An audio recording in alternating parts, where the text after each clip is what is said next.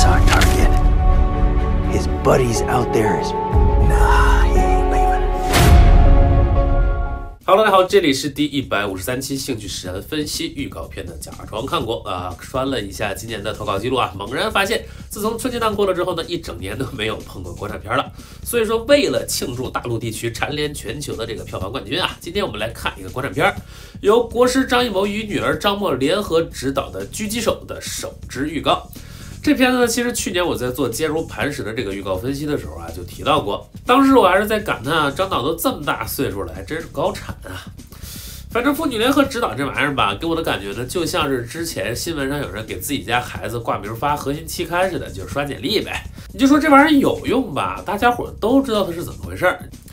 但是你要说没用吧，我也确实见过身边有人找人代发论文实现了保研，然后几年之后呢又被母校返聘回去做教授的，这个你觉得是吧？行了，题外话差不多就说到这里，我们还来看这个预告片儿哈。故事的背景呢发生在朝鲜战争时期的这个冷枪冷炮运动中，大概的战术啊就是说通过侦察兵和狙击手对于敌方的这个战略目标和有生力量呢，通过狙击或者是炮击的方式进行摧毁。上来第一段呢是背着一块铁板的这个陈明阳，在联合国军的狙击手的这个攻击下呢去捞战友这么一个情节。这个呢，就是一个标准的为师打援的战法了。狙击手呢，他不把敌人打死，而是留一口气儿，等他叫来增援或者是战友过来救援的时候呢，再去袭击他的战友。这个呀，在好多关于狙击题材的电影里面都有。之前呢，好像在《战狼》里面它也出现过。我虽然说没有上过战场吧，但是跟朋友玩吃鸡的时候呢，也没少因为这个送个快递。我们看到志愿军这边的方案呢，是小胖把这个铁皮板子绑在背后，剩下三个战士呢在掩体后面拉着这个绳子。理想的情况呢是小胖在铁板的掩护下走到了受伤的战友边上，用绳子绑好之后，再由掩体后面的战友一路拖拽回到掩体里面。但可惜这只是一个理想的情况。后面的几画面中，联合国军的这个狙击手啊，先是打断了绑着铁板的绳子，然后又打碎了小胖扶住铁板的手，最后杀害了这个小胖。接下来是我方战士的话外音，这个听着应该是张宇吧？说对方呢还不知道亮亮的身份，这个亮亮呢就是刚才联合国军为师打援其中的一个师啊。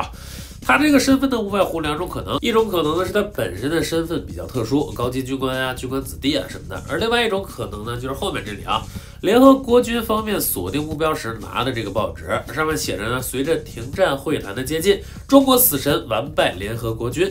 我方的这个主力狙击手啊，应该就是被单独截取出来这个张宇了。真不是我挑张艺谋导演的刺儿啊！但是神奇的是，这个时候双方明明还在打仗呢，为什么敌方的报纸上就能印出我方狙击手的照片呢？那不考虑这一点的情况下呢，这片子剧情啊，现在倒是好猜了。应该说，就是为了回击我们这个冷枪冷炮运动啊，联合国军方面呢，专门派出了狙击高手来进行遏制。这个亮亮的身份的另外一种可能呢，就是照片上张宇的这个战友。但是这有什么好隐瞒的呢？毕竟都上报纸了，搞不懂。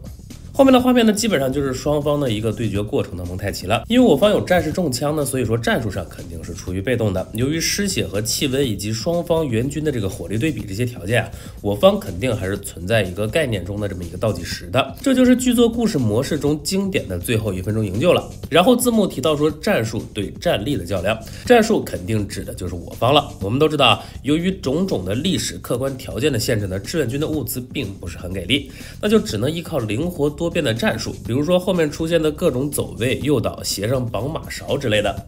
那战力嘛，肯定说的就是联合国军了，又是机枪扫射，又是大炮洗地的。我看这个预告发出来之后啊，有网友评论说，里面大家打狙击战呢，还要大喊大叫的，不合理。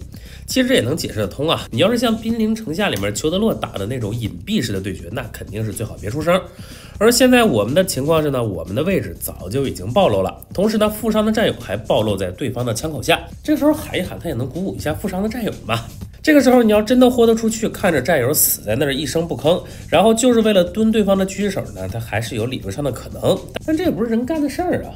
那相比之下呢，我觉得更不合理的一点啊，真不是我挑张艺谋导演的刺儿啊。但是为啥张宇他们胡子上都上霜了，说话还是没有哈气呢？死还有我，我的亮亮不能睡。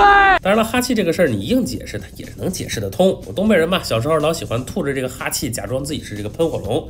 哈气这个东西啊，你能出来，它主要靠的全是你嘴里这个温度够高。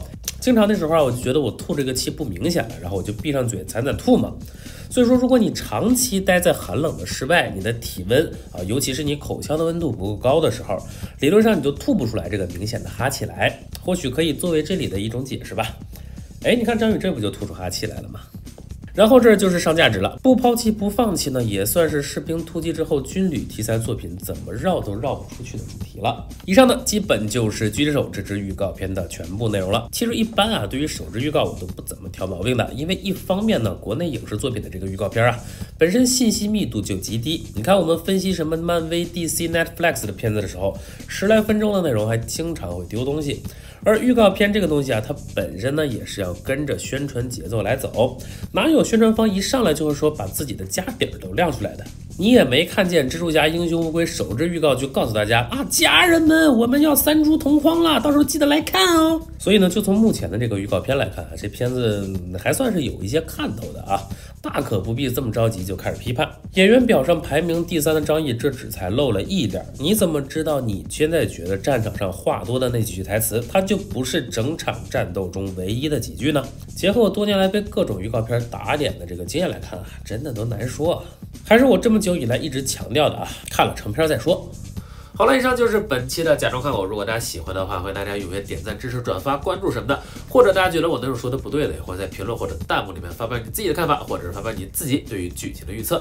另外，大家有什么想看的电影、电视剧的预告解析的，也欢迎在评论或者弹幕里面来告诉我。